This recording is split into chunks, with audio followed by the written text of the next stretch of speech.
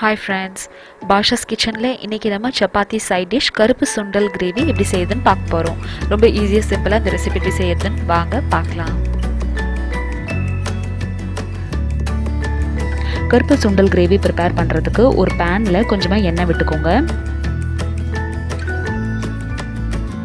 எண்ணெய் சூடானதுக்கப்புறமா பட்டை கிராம்பு ஏலக்காய் போட்டு தழிச்சிக்கோங்க ஒரு அரை வெங்காயம் சேர்த்துட்டு அதையும் நல்லா வதக்கிக்கோங்க.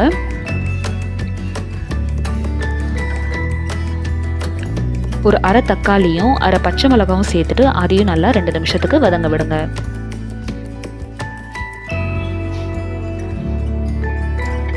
வெங்காயம் தக்காளி இந்தளவு வதங்கினதுக்கு அப்புறமா ஒரு டேபிள் ஸ்பூன் இஞ்சி பூண்டு பேஸ்ட் சேர்த்துட்டு ரெண்டு நிமிஷம் வதங்க விடலாம். ஒரு வெங்காயம் ஒன்றரை தக்காளி எடுத்து பேஸ்ட் அரைச்சி வச்சுக்கலாம். இப்போது அரை உருளைக்கிழங்கு இதில் நான் சேர்த்துருக்கேன். இதை நான் அரை வேக்காடாக சேர்த்துருக்கேன். உங்களுக்கு வேணும்னா ஃபுல் பாயில் பண்ணியும் சேர்த்துக்கலாம். இப்போ இதில் கொஞ்சம் மசாலா சேர்த்துக்கலாம். மசாலாவில் கொஞ்சம் உப்பு மஞ்சத்தூள் வெறும் மிளகாத்தூள் அப்புறம் கொஞ்சம் தனியாத்தூள் சேர்த்துருக்கேன்.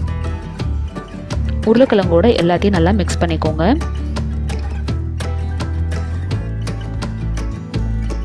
இப்போது இந்த ஸ்டேஜில் நம்ம அரைச்சி எடுத்து வச்சுருக்க வெங்காயம் தக்காளி பேஸ்ட் சேர்த்துருங்க.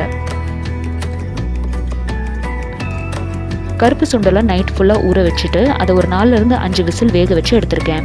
அதோட தண்ணியை இந்த உருளைக்கிழங்கு வேக வைக்கிறதுக்கு யூஸ் பண்ணுறதுக்கு நம்ம இதில் சேர்த்துடலாம். இப்போ லிட் க்ளோஸ் பண்ணி உருளைக்கிழங்கு ஒரு பத்து நிமிஷம் வேக விடலாம்.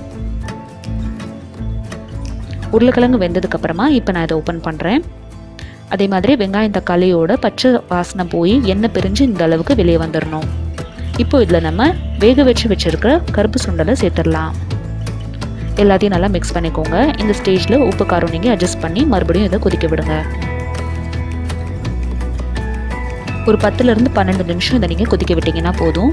கருப்பு சுண்டலில் நல்லா நம்மளுக்கு மசாலா இறங்கிடணும் இந்த மாதிரி எண்ணெய் பிரிஞ்சு வெளியே வந்துடணும் ஃப்ளேம் ஆஃப் பண்ணுறதுக்கு முன்னாடி கொஞ்சமாக கொத்தமல்லி இலை சேர்த்துட்டு எல்லாத்தையும் நல்லா மிக்ஸ் பண்ணிட்டீங்க அப்படின்னா கருப்பு சுண்டல் கிரேவி தயார்.